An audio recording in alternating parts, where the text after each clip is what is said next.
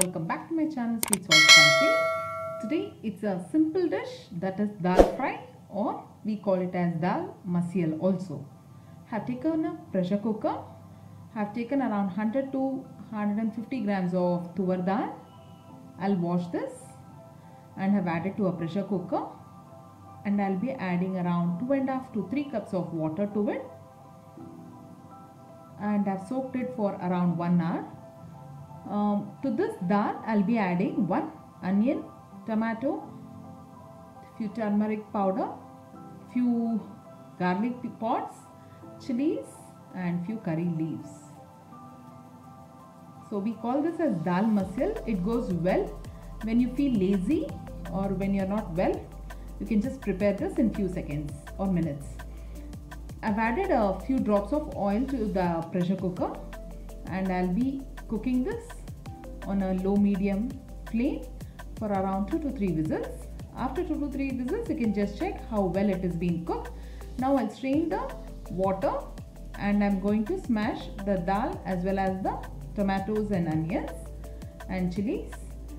Um, once when it is fully smashed do not add this to the blender kindly smash it with a smasher uh, once it is smashed then we can add the tempering I have taken another vessel to which I added around 2 to 3 tablespoons of oil. This is vadagam it's a kind of uh, uh, tempering that is sun dried. It it it is made up of onions garlic tuar dal pepper cumin.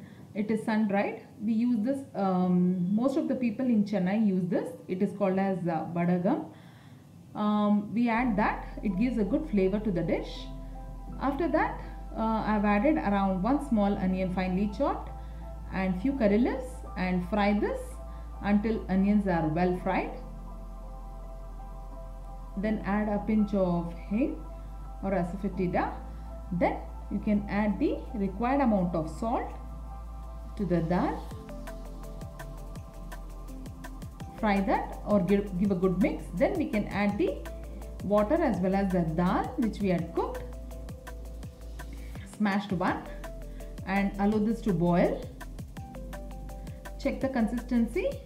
At last we can just add tamarind water or paste just to keep the tanginess and to bring the balance in the dal. Check the consistency. If you want little thicker you can just make this boil for another 5 to 10 minutes. This goes well with white rice dosa chapati idlis it is a very quick uh, dal which we can be prepared in 10 to 15 minutes as we'll be adding all the ingredients in the pressure cooker and we have to smash it and give a tempering and the taste is really awesome I hope you like the video as well as the dish. Please do try this. If you like this recipe, kindly hit the like button, share, comment and do subscribe to my channel. See you then in the next video. Thank you and bye-bye.